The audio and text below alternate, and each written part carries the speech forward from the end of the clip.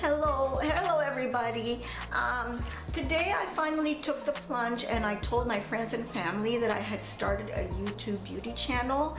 And um, first of all, I want to say that I am by no means a beauty expert and I am not I don't need to tell you that I am not drop dead gorgeous. You can see me, you know, I am just an ordinary person. Um, but I am turning um, 49 in December and I still feel young. You know, I still feel my creative juices running. Um, I don't feel old and decrepit, although maybe some 20 something, some little kids or teenagers or maybe 30 somethings think I'm old and decrepit, but I still feel young. And so um, what made me start a beauty channel? Um, the reason, the way it started was um, last year, my cousin Deborah was getting married, and I felt that the techniques that my, that I had been using, uh, which was from 10, 15 years ago, were just old and outdated, and I just wanted to change. And before, I would only go to YouTube to to be guided as to you know how to fix my refrigerator how to change my locks and stuff like that household stuff and then I thought that maybe someone there would be who would have monolids uh, would be able to teach me um, new techniques and ideas on how to do my eyes and so the first video that I had ever seen on monolids was from head to toe. And the lady from head to toe is very beautiful. She's a Korean girl and she also has monolids. And so I watched her videos and I tried her techniques um, but I felt that my eye type was different from hers so what would look good with her eyes although she is a monolid would not look good with my eyes and so I just kept going and going and watching other videos, experimenting until I finally found uh, a technique or a slew of techniques that would be more suitable for my eye type. And you know um, that it's very hard to apply makeup on monolids. And I think that my eye type, my, my monolid eye type, because there are many different kinds of monolids, um, is especially, my eye type is especially difficult because I have droopy eyes, and my eye tail here is droopy. I have a droopy crease. It goes like this and then just drops down like that. I have droopy eyebrows and they arch in the wrong spot. I have droopy lips.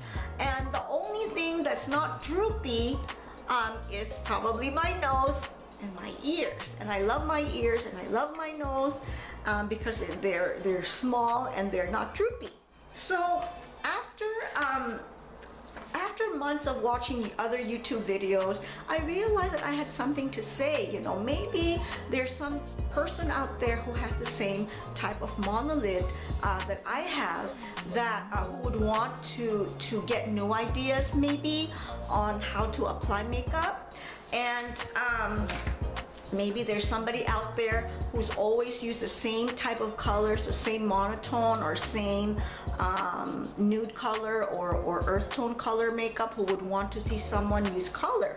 And as you can see today, I'm using yellow and green. See?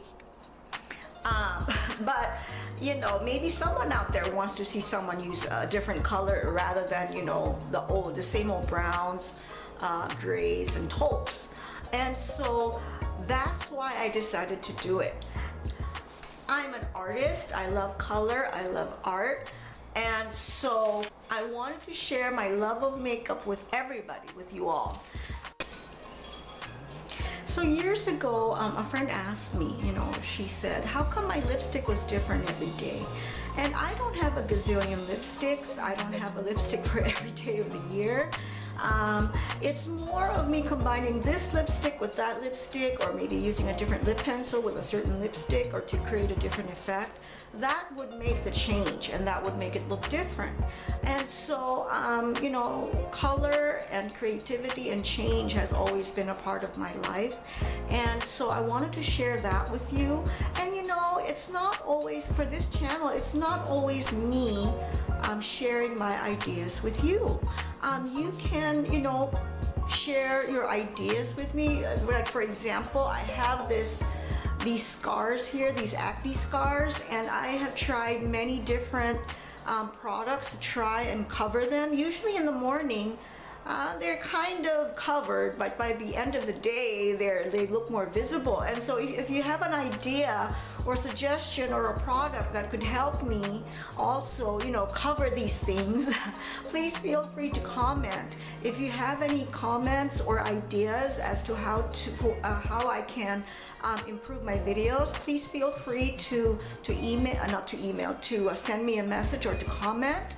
Um, and if you have any ideas, maybe if you have an idea as to how, you know, to do this type of a monolid, please feel free and I really welcome and um, appreciate your advice.